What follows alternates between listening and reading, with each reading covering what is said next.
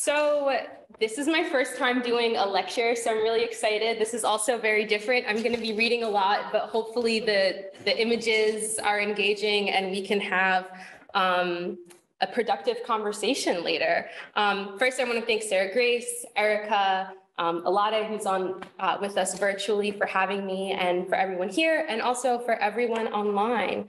Thank you. Um, there's a lot I hope to cover during this talk, so bear with me as I attempt to take us through different intersecting histories that I feel we need to understand and honor in order to best explore Malcolm X's legacy through a particular social justice framework. Before I get deep into this history of Malcolm X and why I believe we need to be thinking about his work in preservation and beyond, I want to offer some thoughts around my own personal relationship to Columbia University and a very abridged um, history of Washington Heights. I think this historical grounding is key in really understanding the legacy of structural racism in the built environment and this more current context of Columbia-led gentrification across Upper Manhattan. I was raised in Harlem off of Lenox Avenue, and about a decade away, I moved back to Harlem um, to build and work with the Malcolm X and Dr. Betty Shabazz Memorial and Educational Center, and also because Harlem is my home, and this is where my family and my friends are. So this is our first slide. Um, in many ways, I've always existed near Columbia, but never really in it until now. I understand this paradox of existing near but not within as part of the historically intentional disconnect between the university and the greater Harlem and Washington Heights community. There is a literal and metaphysical wall around the main 116th Street campus that too often com keeps uh, community from accessing the wealth of resources that I would argue Columbia and all large institutions excessively hoard. So though my background isn't in planning, architecture, or preservation, my first orientation to Columbia University was a geographic one, in which I understood myself as existing within some spatial relationship to the university, where I was on the outside looking in. It's interesting at this point in my life to now be working so closely with a university that I've always had a particularly fraught relationship with as a Harlemite and as a critic of unchecked expansionism. As you may know, Columbia University is the largest landowner in New York City by the number of addresses it manages, which is some 5,000 units across likely more than 250 properties. I feel the university's expansion into Washington Heights and West Harlem, which includes right across the street from my family's home, in many ways reflects a legacy of colonial imperial expansion that harkens back to Columbia's very own namesake, Christopher Columbus. So while undoubtedly many spaces of brilliance and goodness exist throughout the university, like right here in this class, um, pushing the institution forward, it's imperative that we're grounded in the reality that Columbia, quite like many other universities, is also a real estate enterprise with various tax incentives and nefarious investments that maintain the prestige of this Ivy League project. And here is, I think, an interesting graphic that just shows like, and it's old, so it's not relevant, you know, it's back, you know, I think it was made in 2016. And so obviously Columbia's expanded and now has more properties, but it just shows you how much more Columbia owns than any other private institution um, in New York City. So I wanted to share that contextual history and personal reflection to ground my current relationship with Columbia University, which has come about through my work with the Shabazz Center. The Shabazz Center, located in Washington Heights, is a memorial, cultural, and educational institution committed to honoring the legacies of Malcolm X and his wife, Dr. Betty Shabazz. We're also a hub and activation space for a wide range of social movement work. The Shabazz Center was established by Dr. Betty Shabazz, who was a brilliant educator, movement leader, and force in her own right. It was Dr. Betty Shabazz who led the fight to keep the physical building that we're housed in, the Audubon Ballroom, which you all visited, uh, standing as a permanent memorial to Malcolm X and his humanitarian efforts. And that was a picture of the ballroom, and then this is the current outside uh, of the, the facade. In the 90s, the city of New York and Columbia had plans to tear down the historic Audubon Ballroom to make way for the growing biotech campus as part of the university's rapacious expansion into Washington Heights. But community leaders, including Dr. Shabazz, fought against these efforts and were able to preserve 44% of the original Audubon Ballroom structure, which stretches from 166th to 165th and Broadway. The Audubon Ballroom was originally commissioned by William Fox, the founder of 20th Century Fox, and was initially intended to house the presentation of vaudeville shows and motion pictures. And the building was designed by theater and cinema architect Thomas Lamb, and it was completed in 1912. The land now known as Washington Heights was first home to indig indigenous Wappinger and Lenape people who first settled the Delaware, Pennsylvania, and tri-state area some 10,000 years ago. At the turn of the 20th century, with the extension of the Broadway and 7th Avenue subway lines up to 191st Street, the Washington Heights area exper experienced a rise in middle class residential construction in the years leading up to World War I.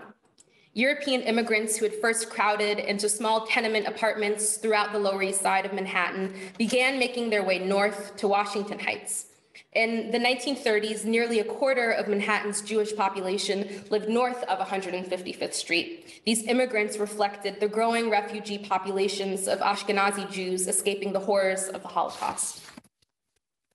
In the 1950s, 60s, and 70s, the demographics of Washington Heights abruptly changed as Puerto Rican, Cuban, and specifically Dominican immigrants migrated to this northern tip of Manhattan which uncoincidentally coincided with the repressive 30-year Trujillo dictatorship in the Dominican Republic. Of course, this influx in Spanish-speaking Caribbean immigrants marked the beginning of white flight and the policy-driven economic disinvestment of Washington Heights, a community that continues to be informed by this legacy today. With this demographic shift came a reconstitution in the use of the Audubon Ballroom, which no longer catered to its originally white Protestant and European, Eastern European audience, but now hosted dances and performances by singers like Celia Cruz, and also became a, a site for boxing matches amongst other uses.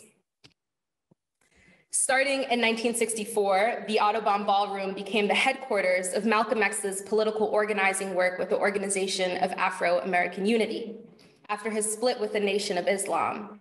On February 21, 1965, Malcolm was shot and killed on the second floor of the Audubon Ballroom while giving a speech. In 1967, after the doors of the Audubon Ballroom closed following his assassination, the city of New York assumed ownership over the building. For decades, the fate of the Audubon Ballroom was uncertain amidst Columbia's massive land acquisitions and development plans throughout Upper Manhattan. So hopefully this history helps to situate the current relationship between the Audubon Ballroom, now home to the Shabazz Center, and Columbia University. Now I want to bring us through Malcolm X's evolution into a global humanitarian and anti-imperial leader because his embodiment of a set of ethical, political, and spiritual values that I see as rooted in land sovereignty, black power, and total equity should be studied and employed as a social justice framework that can help us rethink both the historically racist relationship between Columbia and Harlem and the Audubon Ballroom, and it can also inform all of the respective work we do as scholars and as pr practitioners engaging with real live humans in the built environment.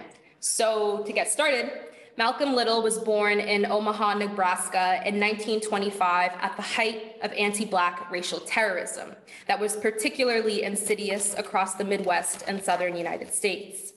Malcolm's parents, Earl Little and Louise Norton, met in and were active members of arguably the first Pan-African and Black nationalist organization, the United Negro Improvement Association, which was first founded in Jamaica in 1916 by Marcus Garvey and Amy Ashwood.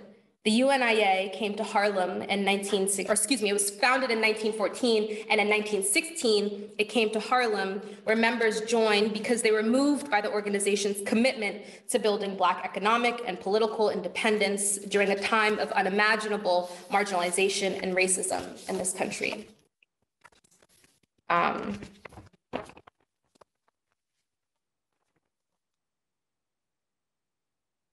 Uh, Garvey and the UNIA promoted forms of Afro-diasporic solidarity and pride and believed that people of African descent should establish an independent nation on the African continent. Earl and Louise Little embodied the values of the UNIA by practicing economic independence as landowners and farmers, and by teaching their seven children, which included Malcolm, about Black pride, intellectual rigor, self-determination, and globalism. So while Malcolm is often thought of as someone who evolved into this internationalist framework, we need to understand him as being born into this framework. Malcolm's mother, Louise, was also a Grenadian immigrant who spoke French, Creole, and English. So I can only imagine the sort of active household that she and Earl ran as Pan Africanists um, with a deeply global worldview. So we begin to see that Malcolm's ascension into a socio-political sphere of Black radical thought and global politics was very much a natural response to his particular upbringing in a Garveyite household during the height of Jim Crow. Like many Black men and families who were persecuted for embodying dignity and self-respect, Malcolm's father was violently killed for owning land, being self-sufficient, and being a leader in his local UNIA chapter. The death of Earl Little had a profound impact on Malcolm's family, who quickly unraveled in the absence of his presence. As a young teen, Malcolm was sent to live with his elder half sister, Louise, or excuse me, Ella Little, in Boston where he was introduced to things that most American teenagers are introduced to, like live music and dancing and marijuana.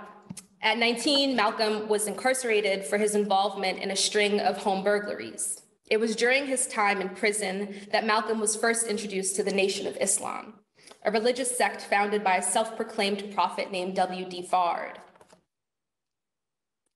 The Nation of Islam was and is similar to the United Negro Improvement Association in that it preaches a form of Black nationalism and self-determination, which many Black Americans who were migrating from the South to the Midwest and Atlantic North found, uh, it, during the Great Migration, they found particular meaning in. I also want to say that the Great Migration, which deeply shaped the legacy of urban planning, especially in cities like New York, needs to be understood as a form of refugee migration in that Black folks were fleeing racial genocide and terror. And now some of these folks, a part of the Great Migration, were attaching themselves to religious and secular organizations that asserted individual and collective Black humanity and agency in the face of white supremacist evil from which they were fleeing. And here, I think, is an interesting map that um, traces these migratory patterns that happened. While loosely inspired by Orthodox Islam, the Nation of Islam, also known as the NOI or the Nation, holds a particular religious doctrine and creed that is separate and nationally focused in its scope. The Nation is a response to the Black American experience under structural racism. Malcolm, Malcolm quickly rose in the Nation's ranks and became the right hand and heir apparent to Elijah Muhammad, who was the organization's prophetic leader at the time. Malcolm X was instrumental in helping to grow national membership and ascended into the public sphere as an unflinching critic of white supremacy. I think it's also important to remember that Malcolm was still really young at this time. He actually only existed as a public figure for about 20 years um, before being killed at only 39 years old. So it's kind of almost unimaginable for me to think of where Malcolm may have ended up had he lived into old age. And here's a photo of Malcolm speaking at an event with the uh, nation, and Elijah Muhammad is sitting in the middle. I say this about Malcolm's age and time spent in the public eye because one of the remarkable things we get to witness about Malcolm X um, and his short but prolific life is that his politics, religious beliefs, and cultural awareness evolved in public. After years spent dedicating his life to Elijah Muhammad, Malcolm began to seriously question certain pillars of the nation. I think this really started to happen after his first trip abroad in 1959, where he visited Mecca and traveled across the Middle East to Palestine and Africa, and began to articulate the linkage between racism in the United States with Western imperial expansion and global empire. Malcolm X ultimately ended up being forced out of the nation in 1964, and shortly after, he made his way back to Mecca, where he made Hajj and became a practicing Sunni Muslim. Malcolm also spent months in Western and Northern Africa, where he learned from a host of anti-colonial leaders, including Kwame Nkrumah, who was one of many leading the charge to build sovereign African governments in the wake of intercontinental decolonizing efforts. While abroad during this time, Malcolm had hoped that an African country would help support his effort to charge the American government with genocide at the United Nations. Malcolm wasn't successful in this way, but he also got to build with many brilliant Black American expats living in Ghana at the time, including W.E.B. Du Bois's wife, Shirley Graham Du Bois, and Maya Angelou, two women who were central to Malcolm's later political formation. It was during this time that we see Malcolm evolve his analysis of anti-Black racism in the United States into a global human rights cause predicated on an international power analysis. During this five-year period, Malcolm was building with everyone from Japanese organizers, including Yuri Kochiyama, Palestinians living under occupation, Vietnamese anti-war organizers, people across the African continent, and of course, Black Americans living in urban ghettos. Malcolm took what he learned while abroad in Africa, specifically around intercontinental decolonizing movements, and in the summer of 1964, he founded the Organization of Afro-American Unity, a multiracial coalition of radical anti-imperialist educators, organizers, culture makers, and everyday people who understood the need to form a Black-led, Black power educational, political, and cultural movement that sought to address the realities of structural racism head-on. Malcolm, unlike his counterpart Martin Luther King, was not a pacifist and believed in self-defense and structural change by any means necessary.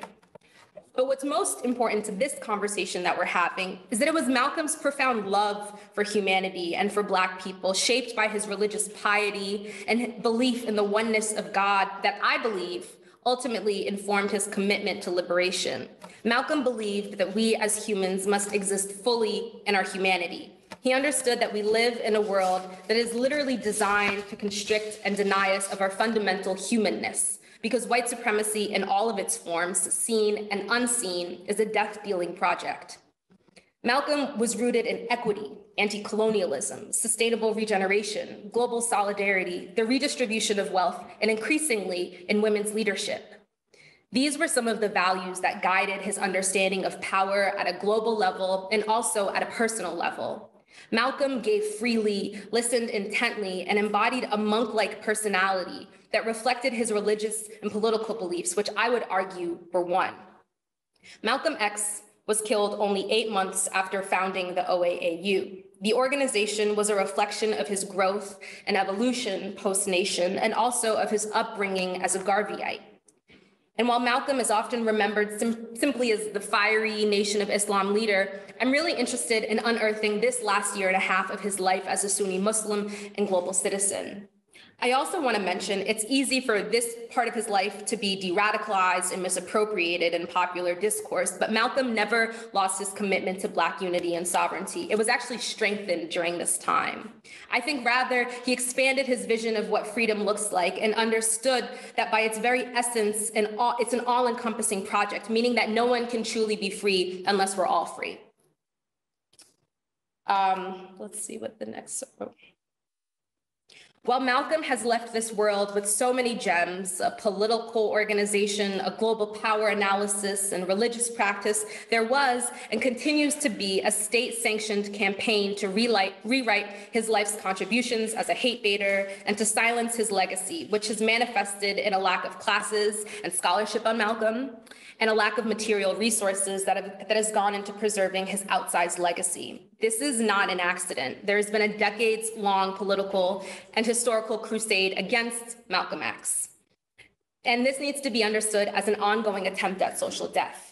So on one hand, there's a general lack of understanding and proper awareness around the real legacy of Malcolm X and his beliefs. And there's equally been a historic lack of funding that has gone into memorializing the Audubon Ballroom and Shabazz Center as a key historic site that's part and parcel of the American story.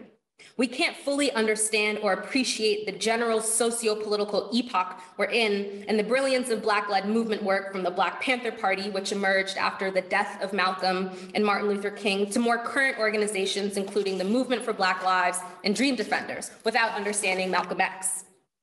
The same goes for Black popular culture, which is in essence American popular culture.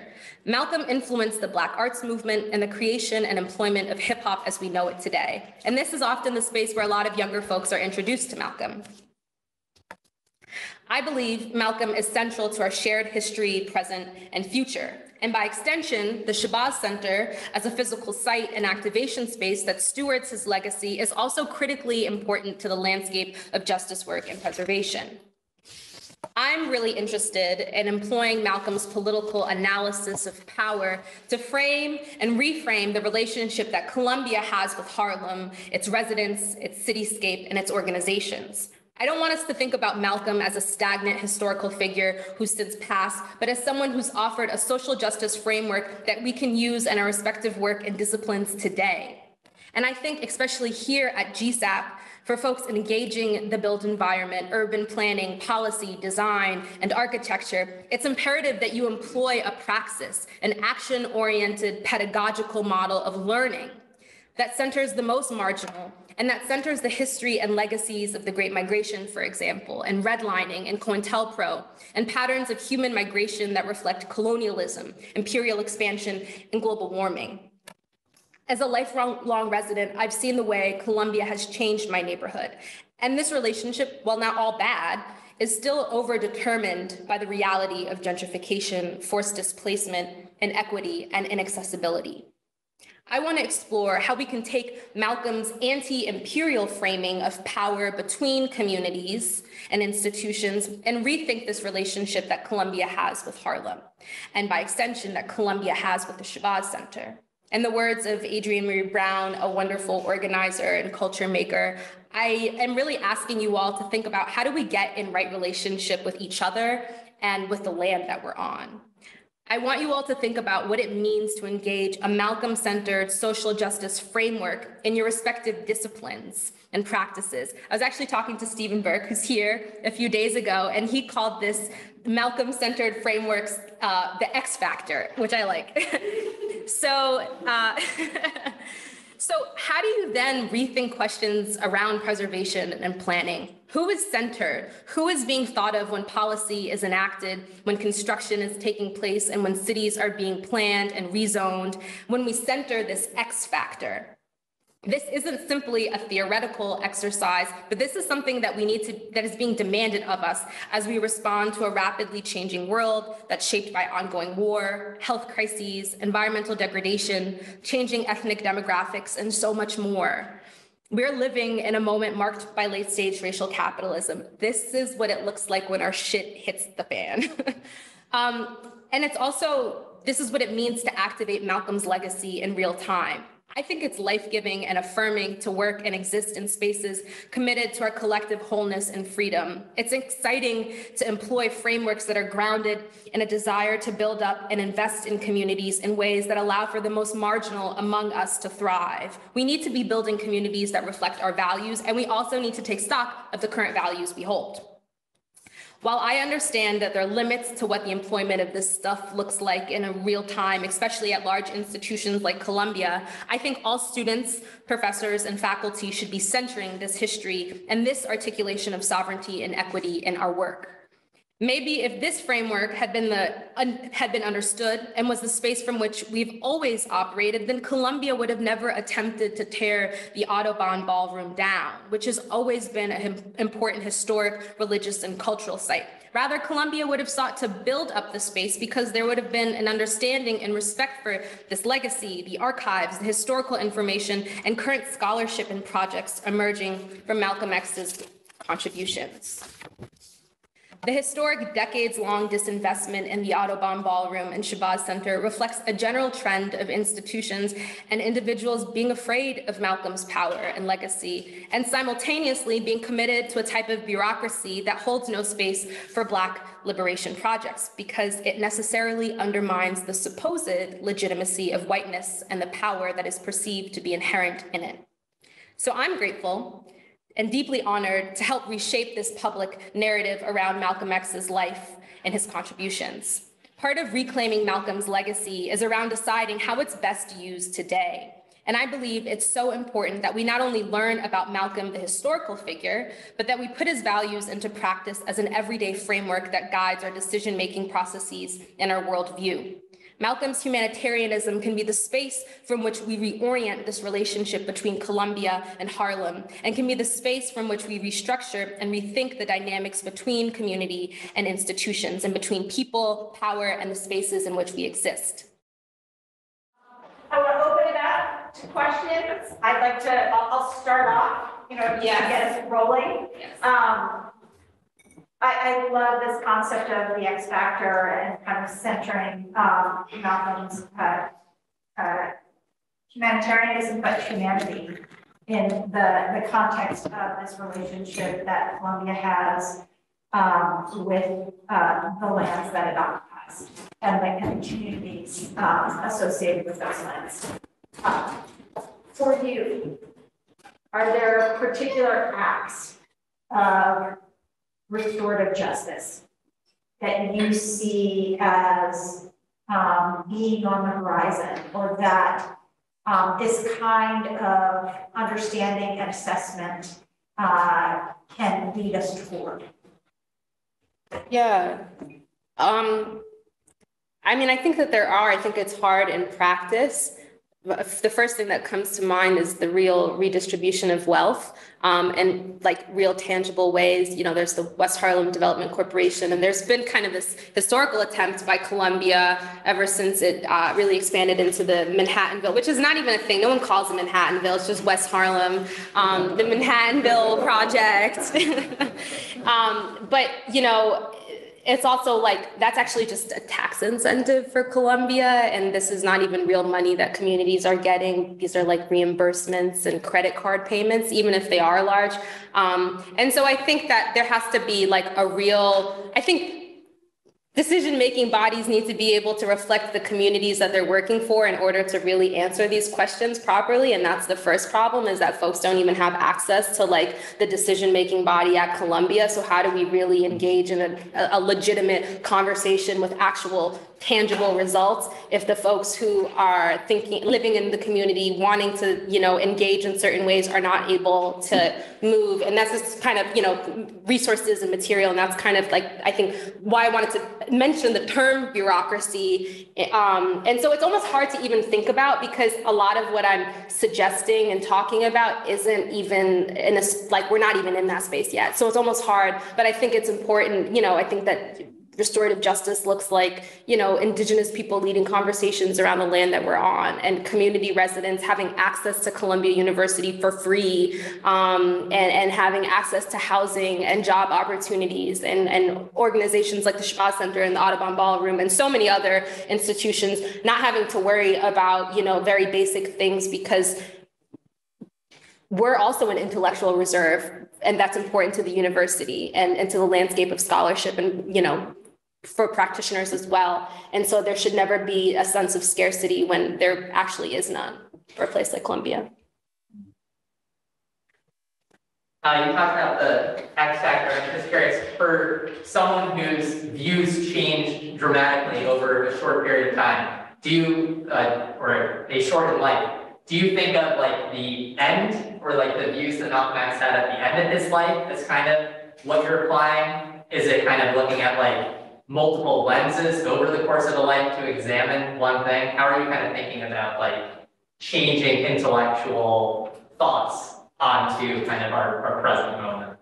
Yeah, that's a good question. Well, I guess I'm really I'm interested in this last part of Malcolm's life because that's where he ended up and that's you know this was an articulation that he was exploring in real time and probably would have built on but didn't get to like really dive into. And I think he wanted, you know, he was trying to build those spaces. And so it feels, you know, in a way that in order to properly honor his legacy and i'm still learning about malcolm i'm no malcolm scholar um, but it feels like part of this responsibility that we have um, at the shabazz center and that i have as someone who really honors malcolm is to shed a lot of light on this particular part of malcolm's life and to talk about the organization of afro-american unity which a lot of people don't know about um, and kind of have that be the space from which we activate. Um, but it's also, you know, one of the things that his daughter Ilyasah Shabazz said to me is that she was like, I think it's less about trying to decipher where Malcolm would have ended up had he lived in 2022. Like,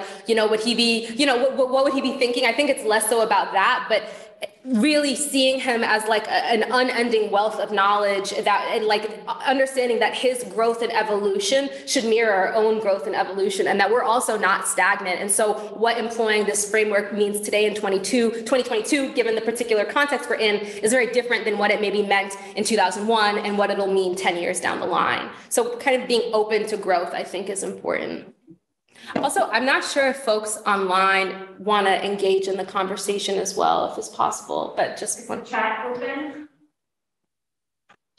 Oh, So if the chat is open, if anybody online wants to either raise their hand and ask question. Not to put them on the spot. In the chat. Do you want to put, um, ask people if they want to come up onto the screen? That might be a lot. I don't know. People might be. If want to, If you want to, if you want if they to. want to, they can just write their names in the chat. Yes. Call on them. Yes. And, um, go from Perfect. there. Perfect. Or if they want to write their question out, we'll read it aloud and let you answer. They have the option. I guess I'll ask a follow-up question on that, and uh, thank you so much for being here, sharing this, this legacy with us here in the basement of Avery Hall, like, what, what a gift it is, thank you. No, it's, it's really great, no, this is not the normal conversation we have here. Like, Yeah. This is great, and so, um, we wanna learn from you, and it's so great to hear you channel this, this legacy, and so I have to ask like sort of the selfish question, which is, I work on climate change issues, I work on like the fumes of imperialism around the world. And, um, so, you know, what would Malcolm do on climate change? Like, what, what- I- is that, is that a fair question? I guess you just said like, it's not about asking like what Malcolm would do today, but like, I don't know how what do you would say. this like X factor, the Malcolm X framework, anti-imperial framework to what we're dealing with in our neighborhoods with climate change today? I think that's a really important question. And I kind of want to throw it back at you, not in like any weird way, but I'm curious, like, if one, because, you know, I wrote this myself. I don't know if what I'm saying was resonating or making sense with like people. So if it like resonates in any way, I'm curious as someone who like is really thinking about environmental issues, what would that look like? Yeah, no, it de- definitely resonates, and I feel like we need to have more of a conversation about it because, you know, I mean, if we're just looking at Washington Heights and like how people are experiencing the changing environment there, you know, urban heat island effect, air pollution, all these things are the legacy of both systemic racism in the built environment, but also, you know, if we look at the people who live there, they've been subjected to imperial, you know, um, the, the, the engines of empire all over the world, so, uh, and displaced by them. So I feel like it's, it's extremely relevant, like, what we're dealing with with climate change is basically the empire that, you know, like, uh, Malcolm saw and started to mobilize against, so I don't know, I feel like it's almost like we, we're learning too late, you know, I don't know, I feel like we need to learn more. Yeah, I'm, I'm a realist, so I don't even want to go down that hole because it is a little too late. So, you know, I, I'm like, let's find the joy in it right now while we're here, but I don't really know what's going to happen down the line. I can get kind of dark in that area. But I mean, I, I think you're right. I think this, and then that's part of this conversation is that this is like a really new space for me. Like, how do we use Malcolm as a framework in all of our the respective work that we do. So I don't have the answers, especially around environmental justice. But I mean, I think it starts with, you know, these sorts of classes and, and, and thinking about, especially the work that, you know, so many brilliant Black women, Black queer women are leading in the city around environmental sovereignty um, and, and food equity and thinking about like the ways in which like our environment affects our livelihood, you know, that folks in the South Bronx have some of the highest asthma rates in the country. How, I, I don't know how we fully reverse that, but I know that it, we need to employ like this X factor thing to really think about like what is the root of environmental racism and how do we like really begin to dig at that in a way that's not like scraping but I don't, I don't know. I don't really know beyond, you know, I, I think maybe it'll come out in like a, conversation or something that you're thinking. But one thing I will say, oh, are you Yeah. tap in? Now, I just want to congratulate you on such a, an inspiring um, conversation. I think you have the basis of your PhD here. I don't know if anyone else agrees, but I'm kind of blown away. Um, I think this question of, uh, of sustainability, um, or what would Malcolm do? Um, uh, what is the X factor, I think begins with scholarship around Malcolm X. And so you just mentioned that you yourself are not a scholar, so I'm wondering, I mean, what, on the one hand, what scholars at Columbia are you tapped into to kind of build bridges from your work at the Shabazz Center, your work here at the GSAPP and beyond, right, to Yeah. improve the scholarship around Malcolm X so that people can be more in touch with what he would do, quote unquote. Yeah. And then, and then secondarily, um, how do we, I guess, imagine a kind of Malcolm X Institute, as it were, here at Columbia? Like mm-hmm. if there were a bigger vision of where this is Yeah. going, Yeah. and there could be an accumulation of your ideas, et cetera, et cetera. We could all get behind it. Yeah. Those are. What is that, you know, to be answering these questions with regard. That's what we're trying to do at the built Center. Yeah. Is it, is it, is it a kind of lab here in Columbia? Is it, you know, what is Yeah. your dream of dreams where this could Sometimes I'm scared to say all my dreams out loud, but not in a bad way, but I'm just like, oh, I don't want to jinx it. Um, I mean, I think the first, to, to answer your first question around who I'm tapped into, and I think, well, first off, everyone, especially within the context of this class on preservation in Harlem, should be tapped into IRAAS, the Institute for Research in African American Studies, which I imagine you are. Um, but back in the day, Professor Manning Marable, who was one of the preeminent Malcolm scholars, led um, a program on the autobiography of Malcolm X. And there was a lot of wonderful interviews that took place and just kind of scholarly research, and a lot of wonderful Malcolm scholars, including uh, Zaheer Ali, um, oh my God, people are just escaping me right now. But a lot of folks came through Columbia to study Malcolm. And so there's this really interesting legacy coming out of AAADS and um, IRAAS of folks thinking about Columbia, folks thinking about the history of Harlem. And so right now, part of my job is really trying to regenerate some of those uh, collaborations and discussions um, in a more reciprocal way that allows for Columbia, or excuse me, for the Shabazz Center to have agency over our archives and our history. And so that kind of leads into the second question, which is that if there was something to happen, which there absolutely is, and that's part of this work that we're doing at the Shabazz Center, but that it'll be at the Shabazz Center and that Columbia students would go uptown and not be in the basement of Avery Hall, but be in the place that Malcolm organized in and that Dr. Betty Shabazz founded and that Malcolm was also assassinated in. Because we can't talk about this history unless we're there. And I think also, you know, so one of the things that we're doing that's really going to be a thing is we're going to have a freedom school class up at the Shabazz Center next year. And hopefully this will be just a continuous project that happens between Columbia and the Shabazz Center and the Harlem community. And for folks who are involved in this project, which includes people at Columbia, you know, Manan Ahmed, Susan McGregor, some wonderful students, and a lot of other people, we're really thinking about how do we like just use resources that Columbia has, excitement, you know, from students and, and faculty here, and also make sure that this we have resources to give to community members. So are we like offering stipends? Is there food? Is there childcare? Who are the types of people that we're reaching out to? Who are we asking to lead our classes? I imagine, you know, if Malcolm was here, I don't want to like over determine Malcolm,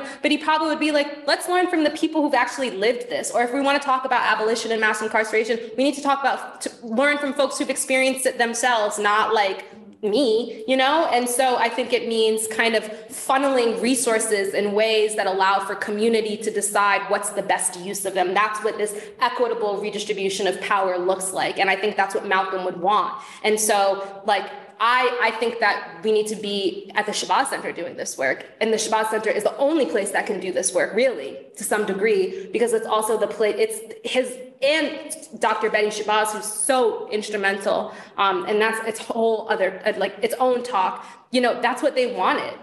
Um, and, and so I think this, can, I think students have to like leave this bubble, leave Morningside, leave Manhattanville or whatever little area up in, in Washington Heights and like, but you know, I don't want to be like, also I say that and say like, it can kind of get a little bit like, ooh, I'm in the jungle looking at the people living, you know, not in that way, obviously, but, but these things have to happen like in the spaces because it's also such a spiritual space and you feel the energy. I mean, you all were there, like there's a particular energy of that space and it could be so much more. Like we need to create an archive um, and recreate an archive because a lot of Malcolm's work was lost. Um, and that's part of it. Like we have to like literally do the work of I, let me kind of back up because I think the work that I do happens on a lot of levels. And the meta meta level of my work is that we've misunderstood Malcolm and Malcolm has been misappropriated. So it's my responsibility, the Shabazz Center's response. And, you know, they've been doing this. So it's not to say that this is just happening now, but part of what a lot of folks have been doing, and I'm humbled to now be a part of, is really reclaiming Malcolm's legacy and making sure that we understand it in the right way. And so doing something like a freedom school where we get to employ Malcolm Malcolm and think through real live questions of justice, of local government, of, you know, abolition and mass incarceration. Um, you know, it, it, it's, I think that's what the work looks like in, in, in real time. Um, and so that's, you know, part of how I would answer, but I think it could be a lot of different things that we end up doing, but it has to be in community, not, not here. Yes. Uh, We have a, uh question from Zoom, from Alade. First, great job. Um, the built environment is characterized by man-made physical features that are often difficult for certain individuals, often poor people, people of color, to, as, to access certain places.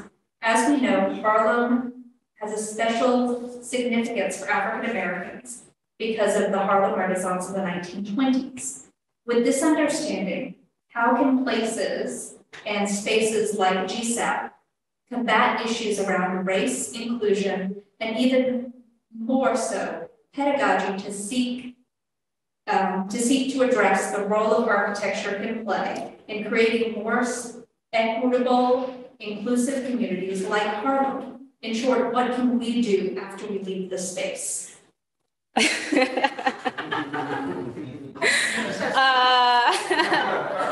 uh, Sorry, Najha. um, oh my God. I mean, I, if I can remember, I mean, I, I think it's such an important question. Like, what can places like Columbia do around equity inclusion? First off, Alade is the goat at GSAPP. Like, y'all are lucky. Um, and he's doing a lot of incredible work. Um, yes. I think, like, I personally really detest this whole diversity, equity, inclusion, anti racism thing.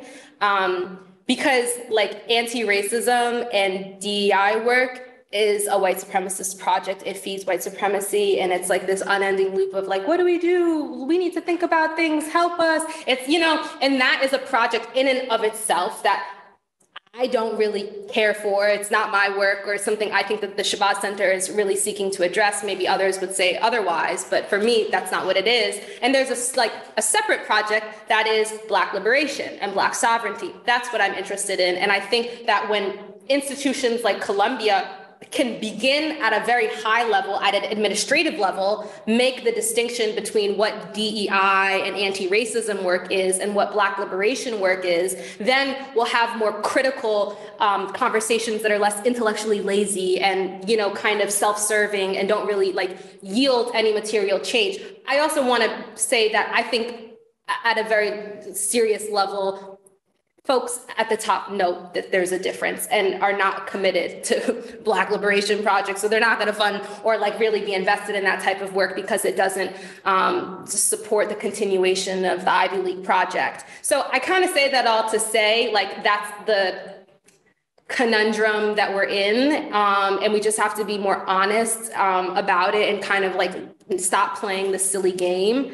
And i think that something Columbia could do, and this is a conversation Alade and you know I've had with him and with others, is that you know like for example this fellowship that I'm a part of is an anti-racist um, initiative, which is like I guess sure for white people. You know, for me, I don't really even know how to like understand what that means in my own life because I don't think of myself in relationship to anti-racism. But one of the things it makes me think about is that there's this perception still, I think, and that I feel um, in higher ed and, and places like Columbia that like, maybe not, I don't mean to say this for everyone, but I think at some deep level that, that they're doing me a favor or, you know, the community fellows a favor by giving us this fellowship, when in actuality, it's the work of community members, it's the work of folks who are leading this sort of like praxis-oriented, you know, movement work, um, whether it's in the institution or beyond, that actually makes a space like Columbia more relevant, more intellectually rigorous, more able uh, to respond to the changing world that we're in like you know and, and so i don't know i just i think that there has to be just honesty in this in that conversation. Who who is benefiting? Sure i'm benefiting because i love to talk with you know young people and professors and it's really exciting for me to to write and think and do these projects and move stuff forward. But also like this work pushes Columbia forward. And, you know, Thad and I have talked about this in the past, but like, I think that there's this, ooh, now a lot is getting me started. I'm just to say this and I'm to stop here. But there is a type of white mediocrity that sort of informs administrative thinking uh, around what the redistribution of wealth or resources or how do we re-engage community after these fraught like racist histories what do we do and, and that i think is like not so forward thinking and and when we kind of like not we, or when, when institutions, I think, are honest and, and start to use the term of white mediocrity to describe, you know, institutional patterns that are racist and that also hold the institution back, then we're able to like really honestly have conversations that are far more engaging, more relevant, more interesting, um, more dynamic um, and, and, and everyone wins. Yes, you know, materials are brought back to community, community is able to benefit, but also the institution benefits. But I think white mediocrity doesn't allow people to see that. So it's like they're stepping on their own feet. No, no, no, no.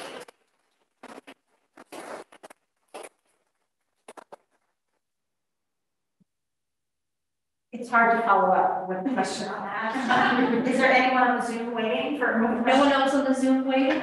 Okay, so I want to, um, I want to go back to this question of root cause and archive.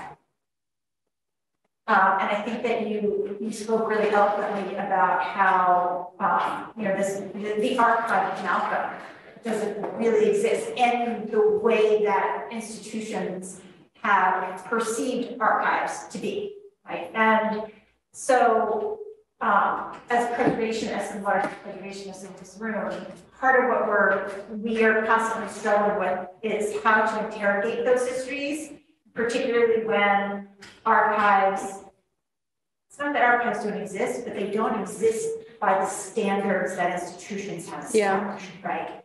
And so I'm really curious to hear how you've confronted that um, and particularly because we're in a school of architecture, in some ways, we, um, whether we fabricate this or, or we um, kind of believe this, the, the built environment and, and spatial history becomes our archive. Like it's, it's the archive that we encounter through spatial experience, right? And so, um, and we're pushing beyond the visual on that whether it's smells, whether it's understanding of, of complex histories um, that uh, don't necessarily have a spatial component because the right to occupy space was suppressed. Yeah.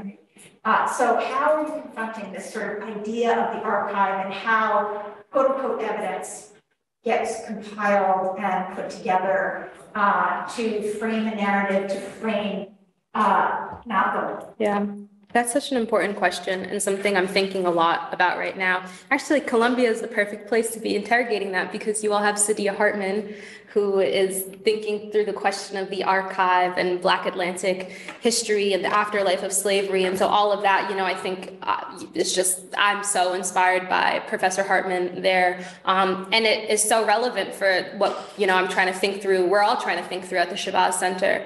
So the first thing I would say is this conversation is literally the archive, right? Because we're creating something in some sense that doesn't exist. There are places that have archival material like the Schomburg, like Columbia University. But right now, the Shabazz doesn't, Center doesn't have any, like, a lot of physical artifacts because we don't have, like, you know, the humidors and we haven't had, you know, historically the resources to be able to house archives like a museum should.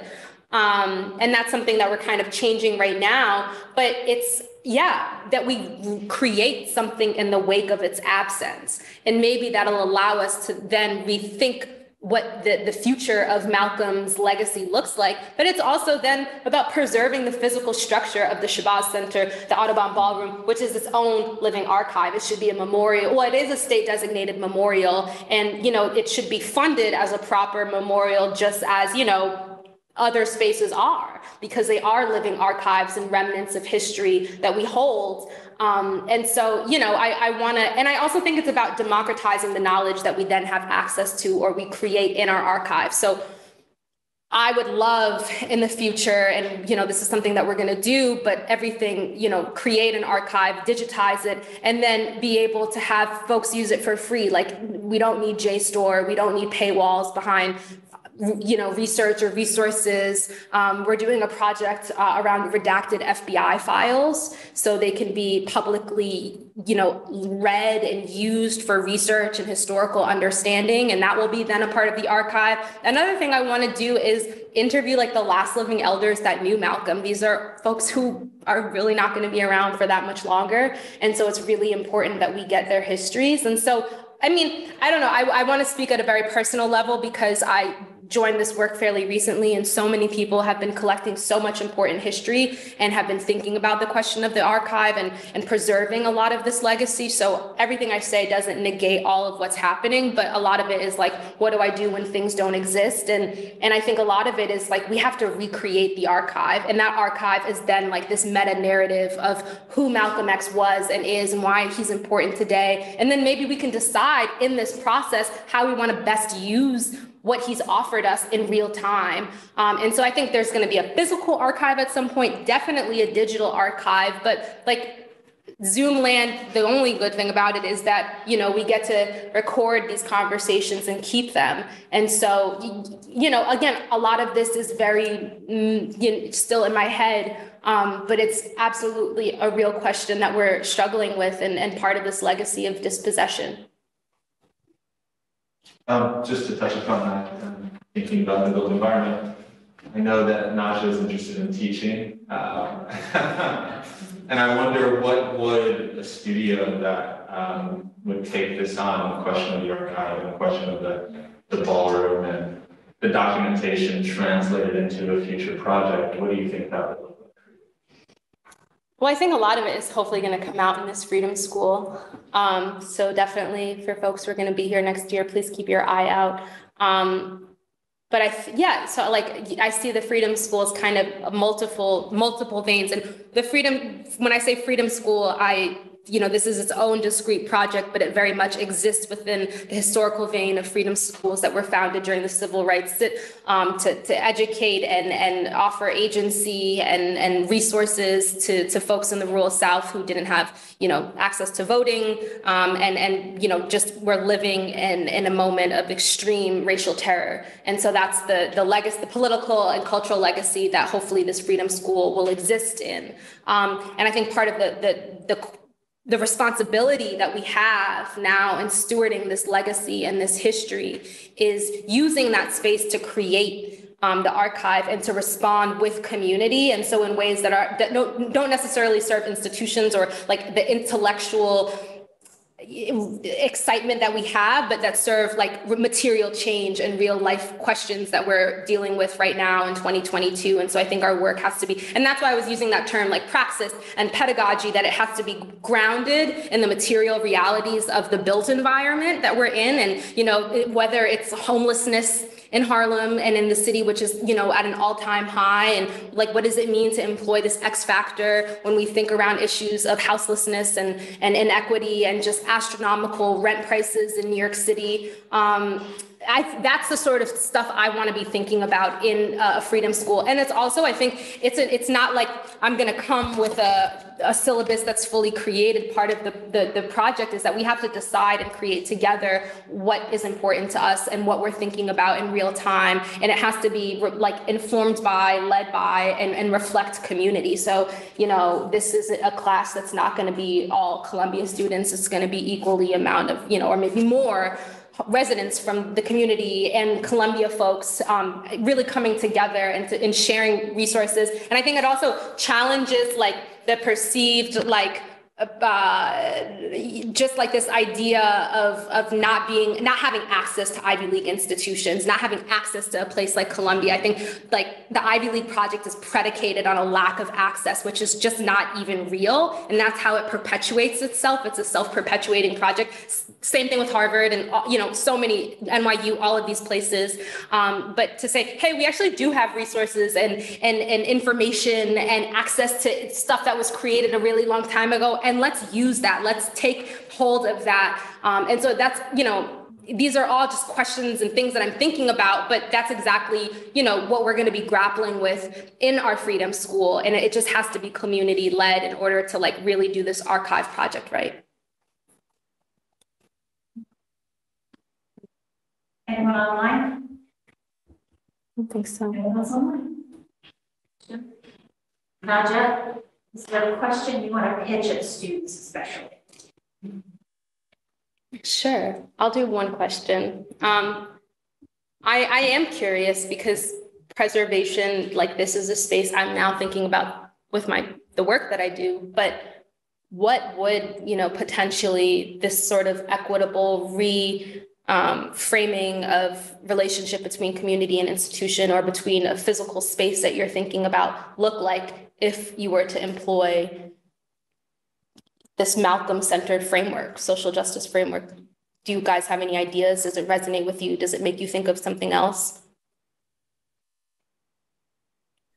Hello, um, my name's Shannon. Um, I would like to answer your question um, with an idea of mine. Um, so I'm I've been researching, you know, the the life and the environmental injustices people face when it comes to housing and lack of access to indoor air light um, ventilation and air quality. And i think it's interesting that the tenement museum you know they depict um, these histories but the the bigger history of um, in of the poor living conditions that um, Harlem was subjected to um, is missing from the rest of the dialogue. How do you think that it could help, um, or would you be interested in creating an event, a workshop, or programming that um, is between Columbia and and yourself that would illuminate these the history of environmental injustice throughout time and the activists within the local local community that really pushed for tenement change and tenement reform. Um, I, am sorry if my I was. Um, does that make sense? It does make sense. Thank you for that question. Um, I wouldn't say I'm the right person to do that. That's not a you know a history that I'm versed on or have any you know, like I, I don't think that would be me, but I think that it would be interesting to, you know, maybe for you or for others to, to possibly lead that class or to, or figure out like who in the community, you know, would be good at, good to, to, to be in conversation with and is already doing that work because I think that's, you know, probably happening at some level and, and really important. Um, but uh, not me. I don't know. I guess I was thinking of ways that we could use the Shabazz Center as a space to talk about environmental injustice and maybe even, you know, Columbia's hand in perpetuating um, mm. environmental injustice and the degradation of West, the social fabric of West Harlem. Mm-hmm, mm-hmm. Yeah, I mean, I, I think just to, to end really quickly, I think that a lot of stuff could happen at the center, the Shabazz Center, and it, it probably will, you know, these conversations. Something, that's something I've been talking with my mom about, who uh, is, has been in the field of sustainable agriculture um, and food systems. And, you know, actually, it was really Betty Shabazz who was just brilliant in her thinking and in her articulation of what land sovereignty and by extension, I think um, environmental sustainability means, especially for Black folks, and what it means to own land. And and so, you know, in some sense, maybe it's a little bit non-linear to do something like that at the Shabazz Center. But also, there is this wonderful history of Dr. Betty Shabazz and and and her helping. Uh, specifically black women own large tracts of farmland and kind of engage with this hor- horrible legacy of, of land land loss in the United States, specifically land loss around Black farmers and families. Um, but I imagine also that there are other spaces that these conversations could happen in, in Harlem or in, in the South Bronx. I, I think of Tanya Fields and the Alice Fields Community Center. She's someone that's leading brilliant environmental women's rights, you know, the most expansive sense of the word, and then also the ways in which it's connected to issues of food security and land sovereignty. And so someone like Tanya Fields, I think would be brilliant if, you know, but she's she's busy, but I don't know, you know, or the Alice Fields Center. And I so I think that, that that's part of the impetus is like let's you know know what community is doing because so many folks are, are, are absolutely at the helm of this work and thinking through a lot of um, what y'all are thinking through and i think want to build in community and um, it could happen at the Shabazz Center, and then there's also so many wonderful places I think that conversation could happen in. Thank you so Um, much. Thank you.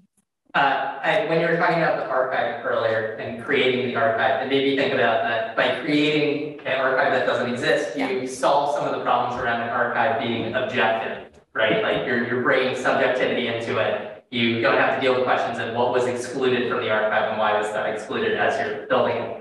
So in answer to your question about, I don't have an answer for like what preservation action should take place. But I think the key thing is to bring that like understanding that what you're doing is subjective and that you, that this is not some objective thing that you can go fix, right? You can't be like, oh, here is like a African American like history that we have not designated that now we need to designate it and solve it. And I think our field tends to operate in that way. So I think like, how do you bring the X factors to say like, that's that is not the solution is to go like change the ratio of white versus black landmarks in New York City. That's not, that's not how we make progress. So that's kind of how I would answer your question. Hmm.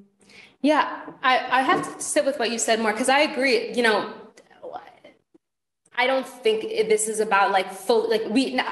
I'm a realist. Like I don't think that we can change like or completely reverse these very, you know, rooted histories. Um, but I also think at the same time, it is about, you know, accessing or resourcing spaces that historically haven't had resources and creating memorials that, you know, haven't been memorialized or understood as part and parcel of larger histories and stories. And so when we do do that, I think it also like, and, and the question of the archive, and also I think the same goes for like what we uh, designate as a memorial. Um, it completely informs how we think about history. And part of the, the issue with the Shabazz Center as a physical site or the Audubon Ballroom is that it wasn't regarded as history and it wasn't regarded as central to our understanding of you know broader conversations and movements around global solidarity and, and social movement work and black power. And so because the physical space wasn't um, supported because you know real institutional work to, to resource the shabazz center or have the shabazz center be the site of scholarship and archival work rather than maybe a place like columbia only you know then we've completely forgotten that history.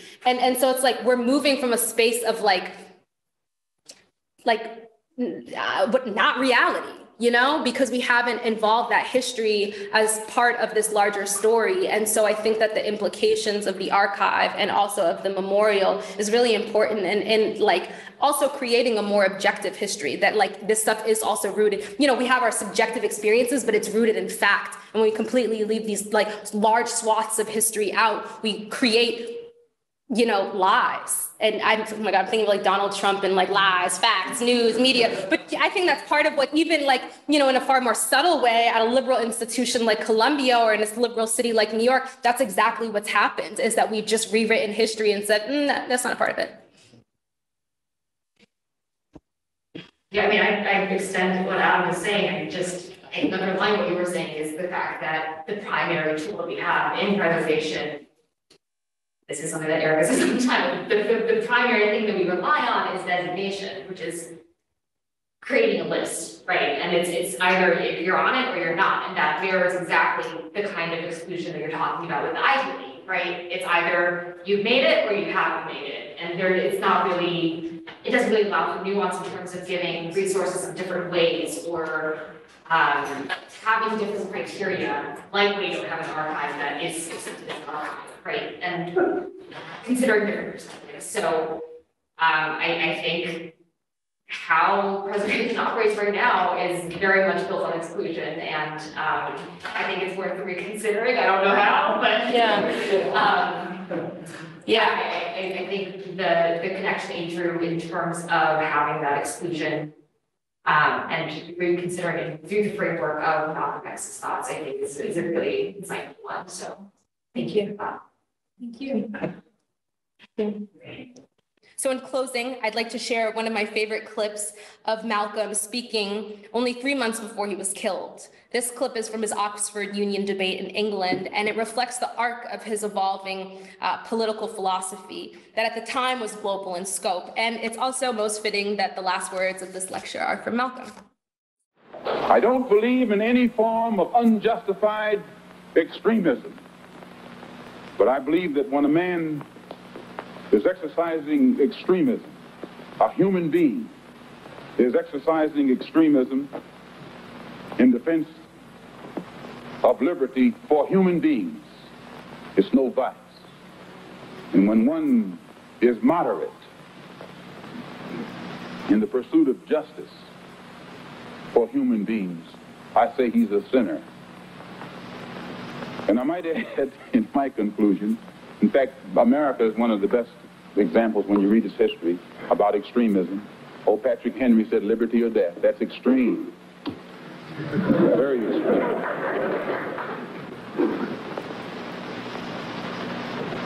I, I read once, passingly, about a man named Shakespeare. I only read about him passing, passingly, but I remember one thing he wrote that kind of moved me.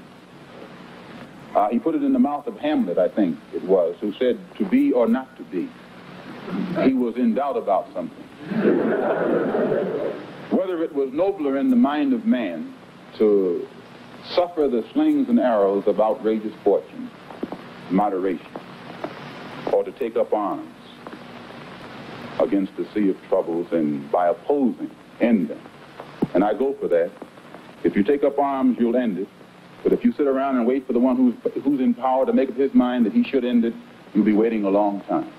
And in my opinion, the young generation of whites, blacks, browns, whatever else there is, you're living at a time of extremism, a time of revolution, a time when there's got to be a change. People in power have misused it, and now there has to be a change, and a better world has to be built, and the only way it's going to be built with it, with it, is with extreme methods. And I, for one, will join in with anyone, don't care what color you are, as long as you want to change this miserable condition that exists on this earth. Thank you.